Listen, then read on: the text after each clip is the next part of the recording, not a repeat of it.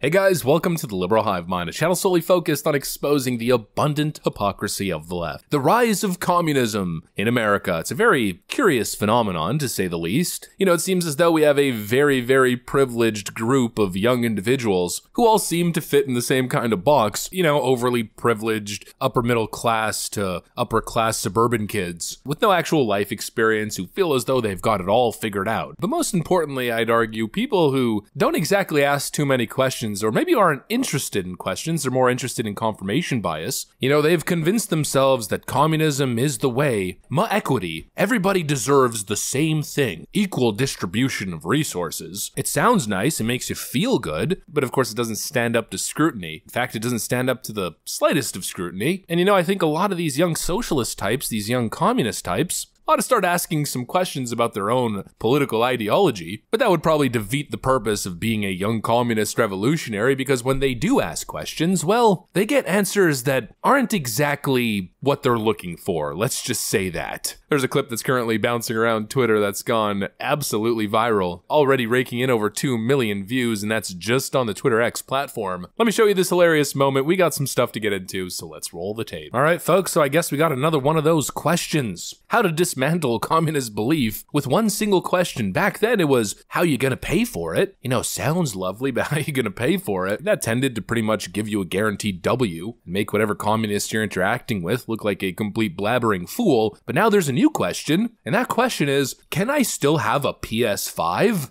In your world of communism, are PlayStations still a thing? Can I still play my video games? Take a look. Final question to you, uh, Professor Wolff. Uh, under your system of worker cooperatives, would I still get my PlayStation 5? Absolutely. You'd have to struggle a little bit for it. You'd have to talk to your fellow workers. You'd have to talk about the distribution of income. You'd have to compare your desire for PlayStation uh, against all the other interests of all the other people. It wouldn't be something you worked out on your own with your particular boss uh, in any way. It would have to be a democratic decision. You'd have to come to terms uh, with that the way you do with democratic uh, decisions uh, now in our society to the extent uh, that we have them.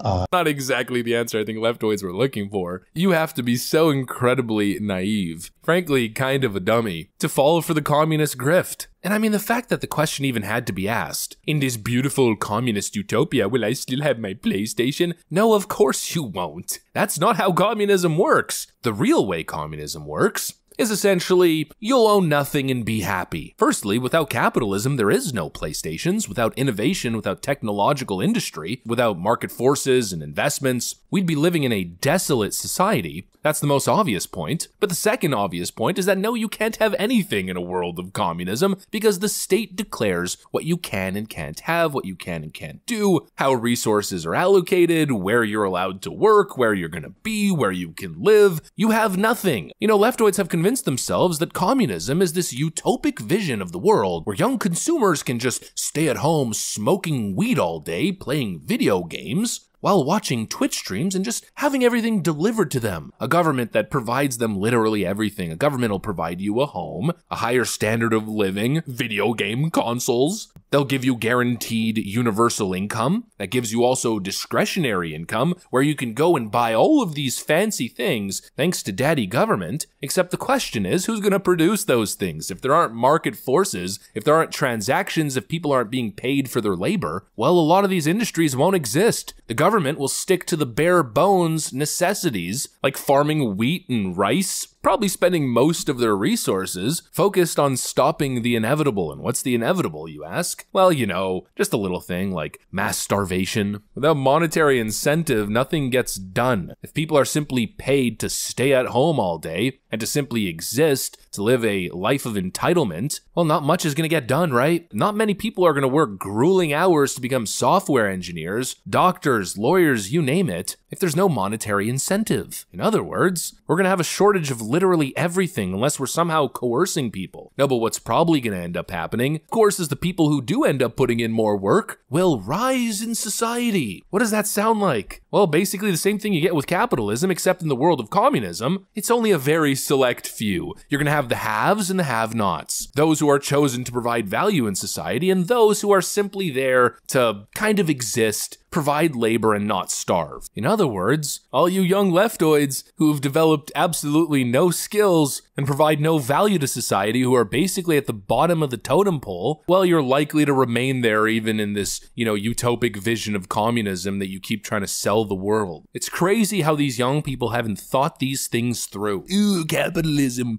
the root of all evil in society. Meanwhile, the reality is that capitalism has been the strongest force for good, positive change in human history. Starvation has been nearly eliminated. The advancements in technology have increased the standard of living for billions of human beings, and the medical innovations, over the last century or so especially, have probably saved hundreds of millions of people. But capitalism is to be demonized. Why exactly? Well, according to these young leftoids, because capitalism is unfair, there's the haves and then the have nots. Another idiotic argument. That's not capitalism. That's called human nature. No matter what the system is, there's always going to be the elites, and let's call them the plebeians. The only difference is, in the world of capitalism, anybody can become an elite. We all have the ability to rise up and make something of ourselves and become people of influence. In fact, in the world of capitalism, a ton of people get to rise up that ladder. In the world of communism, however, no, it's just a very select, privileged few who essentially become oligarchs, run all the industry, run everything, and then everybody else becomes a slave. That is the reality. You know, if we were to sum up the interaction, or I guess the question and answer that I played earlier in the clip between these two enlightened individuals, if we were to distill it to its core concept, essentially the way it went was I'm a lazy millennial who likes staying home all day playing video games and grifting on this whole communism thing because I don't want to work and I just want free crap. Will I still be able to keep my PS5? And the response was, well, if you're important enough, if you're significant enough, if you can make a good enough argument, then yeah, maybe. In other words, only the communist oligarchs and their families, friends, and children will have the privilege to have access to these kinds of things, and everybody else, well, tough luck. I don't see how these young people don't see the errors in their ways. You know, as if communism hasn't been tried a million times before, it's failed every time. But of course, as we know, that's not real communism. No, real communism is the type that exists that gives everybody free crap, makes everybody live the life of a lavish millionaire, and guarantees PlayStation 5s for all. Yeah, sorry to break it to you, young leftoids. That world doesn't exist. That is a stoner, gamer pipe dream. And trust me when I tell you I understand it, because as ashamed as I am to say this, been there, done that. I was that dumb 19 year old kid just playing video games. I thought I was smart, saying things like computers can just be provided to everybody. That's what Marxism is about. Everybody getting everything for free, everybody having the same thing, being on an even playing field. But when you think about the logistics, it simply doesn't make sense. Who's going to make these computers? Who's going to mine the resources? How can we possibly create a supply chain and pipeline to give everybody everything in an effective manner without global society essentially turning towards fascism? The only way you can possibly achieve that is by indentured servitude, slavery, you know, the greater good of the state. I hate to break it to you, leftoids, but the only way you're keeping your PS5 and your la da communist pipe dream is on the backs of slaves. Frickin' wake up and smell the coffee. The most recognized communist professor essentially just said the quiet part out loud. Communism sucks. Anyways, that's pretty much what I got for you guys. Hopefully you enjoyed it. If you did, make sure to leave a like and possibly subscribe to the channel. Of course, you know that we'd love to have you here. Thanks for watching, friends, and I will see you on the next one.